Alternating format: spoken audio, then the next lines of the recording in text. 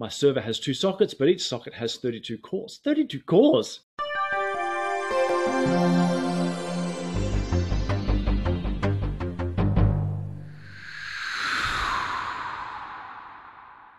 Standard Edition 2, or I would just call it Standard Edition now because it's pretty much the only Standard Edition that we offer. I've been reading the various frequently asked questions and license documents that say that Standard Edition is limited to 16 threads. My server has two sockets, but each socket has 32 cores. 32 cores! Am I allowed to run Standard Edition on this machine? When we're talking licensing, rule number one I don't work for the legal department inside Oracle. I don't work for the licensing department Oracle. Therefore, take everything here not as a cast iron guarantee. It is literally my thoughts, which leads to rule number two. Whenever it comes to licensing, and this isn't just about standard edition, I cannot stress enough to you, you reach out to your local Oracle account manager. That's not me trying to just fob you off. The reason that is so critical is if you ever have any questions or queries or concerns about licensing, purchasing, etc. By having that person involved in a conversation, A, you've then got them on your side. They're going to be your champion when they go to you know the, the broader Oracle organization. But also they're going to be the person that's going to be able to give you A, the cast iron guarantees and things in writing.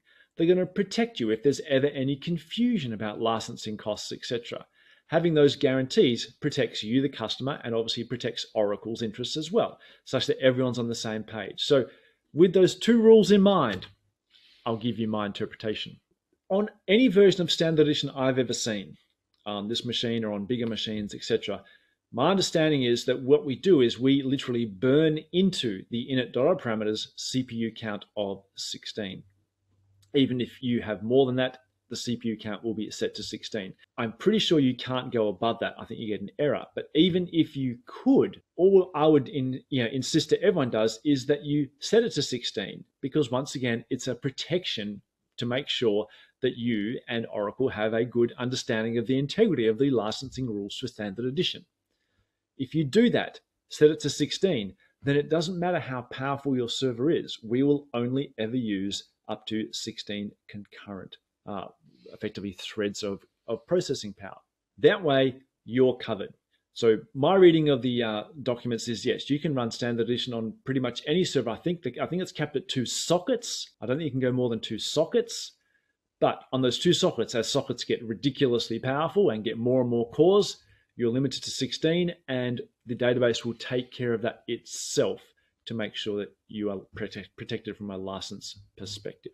I'll do a quick sidebar on that, for example, is people say, oh, well, you know, I don't like that because, you know, 16 cores, 16 threads. I mean, that's going to be a problem because standard edition has no limits on size in terms of the database. So when the database gets bigger, am I going to have all sorts of problems in terms of CPU overheads, etc.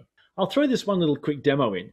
For me, standard edition has never been about processing power because computers are ridiculously fast nowadays really, for me, if you're choosing between standard and enterprise edition, I think you want to make that decision based on the features you require. If you require for your business certain core features that are part of the enterprise edition, then enterprise edition is a no brainer. If you don't need those features, I'll be very surprised if you ever reach the limits of the processing power that comes with standard edition. Let me run this little quick demo for you. I ran this as part of a previous talk this week, so I figured I'd run it for you. This is stock standard enterprise edition, but the reason I can use this and say it with some authority that it works for standard edition is because my machine, this machine I have right in front of me, is running Microsoft Windows, it's running 19, and it only has two CPUs and there are only six core CPUs. So I've only got 12 cores in total. So I'm not even close to what the limits of standard edition are. I'm running 10 consecutive threads each of them doing 40,000 primary key lookups. And you can see they sat at around about, sorry, 400,000 primary key lookups. I ended up getting about 47,000 in this session. If I go to some of the other sessions, you'll see they all got about 45, 47,000. What does that mean? 10 concurrent sessions, 47,000 each.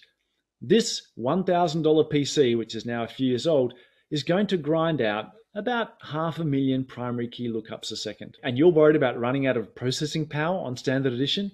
it's never going to be about processing power. It's always going to be about features. So focus on that, and that's going to best equip you to make decisions on standard versus enterprise edition. I want to clarify always see rules one and two. One is it's office hours here, not the legal department in Oracle. And number two is please always communicate with your local account office for all the cast iron rules and the important legal information that's going to clarify you on licenses. Don't go to anyone who says, I went to Connor's session and he said this because you know what they're going to say? They're going to say, Connor who?